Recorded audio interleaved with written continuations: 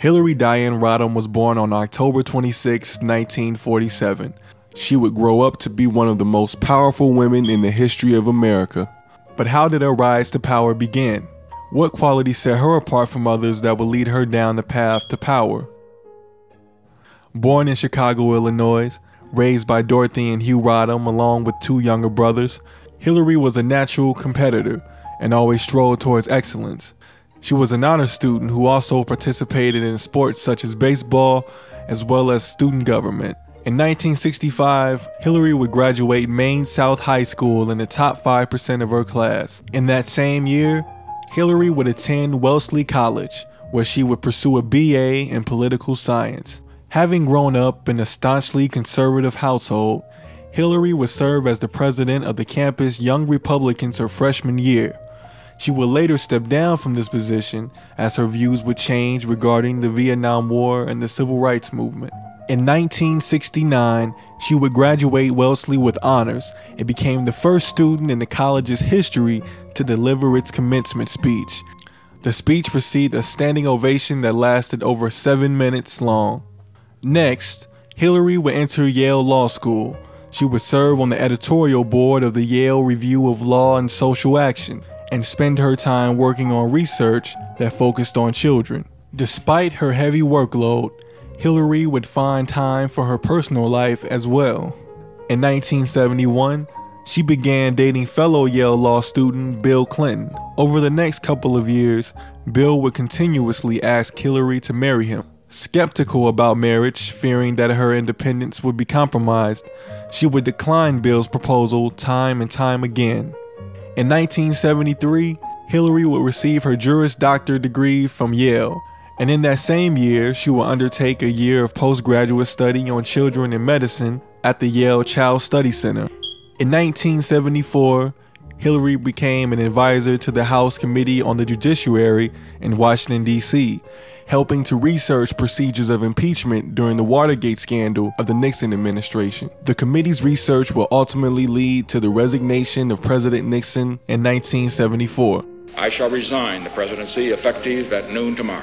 Around this time, Hillary was being seen as someone with a potentially bright political future, and Democratic Party leaders in Washington began to take notice.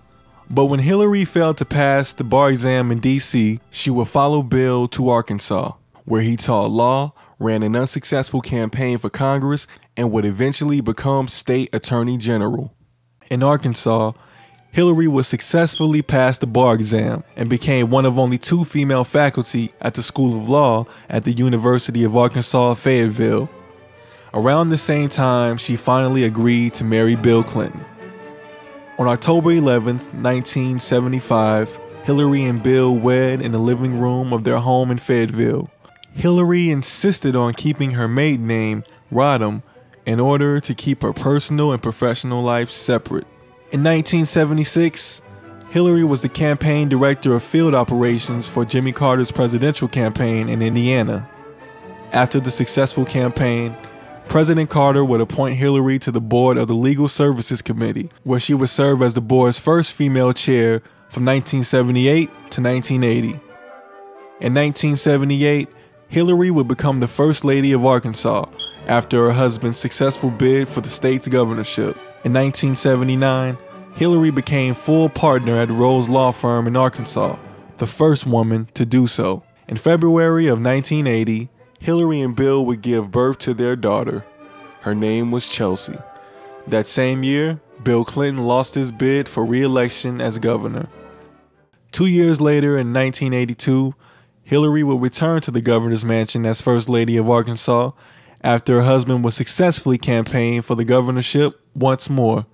During this time, Hillary began going by her married name to appeal to the traditional values of Arkansas voters. During her stint as First Lady of Arkansas from 1982 to 1992, Hillary would continue to make important contributions in both the public and private sectors. In 1988 and in 1991, the National Law Journal named her as one of the 100 most influential lawyers in America.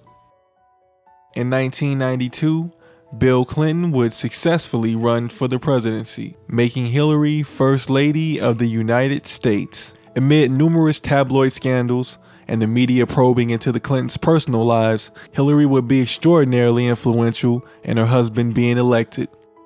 Hillary was the very first First Lady to hold a postgraduate degree, and she would become known as the most powerful wife of a president since Eleanor Roosevelt.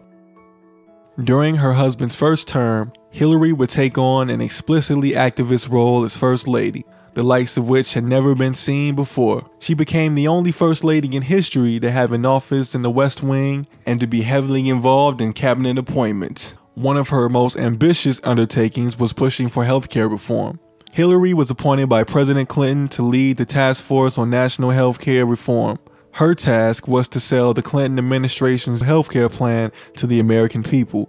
People need a healthcare system that controls costs and provides security to families. Now is our chance to beat the historical odds and give the American people the health security they need. Facing harsh opposition from conservatives in the health insurance industry who would devise a strong media campaign to sway public opinion against it, the plan would eventually fail. This did not stop Hillary's ambition. Throughout the duration of her years as First Lady, she would continue to focus on issues revolving around children, veterans, and women's rights internationally. As First Lady, she traveled to 79 countries, becoming the most traveled First Lady in United States history. After serving eight years as First Lady, she would run for an open United States Senate seat in New York in the year 2000, becoming the first First Lady to seek elected office. Wow, this is amazing. Thank you all. Thank you. Hillary would win the seat handily and was sworn in as a senator from New York in January 2001. In the Senate, Hillary would sit on five committees, including the Committee on Budget and the Committee on Armed Services. She would build strong relationships with both Democrats and Republicans and would keep a low profile, deciding instead to focus primarily on her work as senator. In 2006, she would win a second term as senator by an astonishing margin. It seemed obvious what the next step for Hillary Rodham Clinton would be. I announced today that I'm forming a presidential exploratory committee. You know, after six years of George Bush, it is time to renew the promise of America. In 2008, she would embark on a historic campaign for the presidency of the United States. Initially the frontrunner and party favorite for the Democratic nomination, Hillary would face a tough challenge by a first term senator from Illinois, Barack Obama. She would get closer than any woman in U.S. history to winning the nomination for president by a major political party, but would ultimately lose the race to Senator Obama. She would go on to campaign for Obama, helping to secure his election as president in November of 2008. Change has come to America. Following the election, Hillary and the president elect would discuss what her role in his administration should be. On December 1st, 2008, he would nominate Hillary as his Secretary of State. Mr. President elect, thank you for this honor.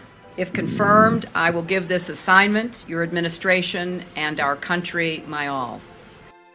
On January 21, 2009, Hillary was confirmed by the Senate and took the oath of office as Secretary of State, resigning from her seat as Senator from New York.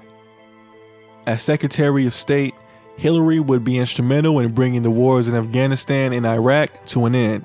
She was the first senior American official to publicly acknowledge the internet as an important part of American foreign policy.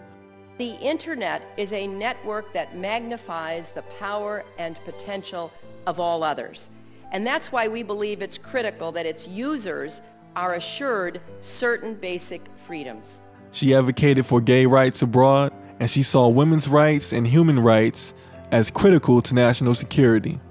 She would also expand the State Department's use of social media, such as Facebook and Twitter, in order to spread information and empower citizens around the world with a democratic platform to engage their leaders. During her tenure, Hillary became the most traveled Secretary of State in history, visiting a record breaking 112 countries.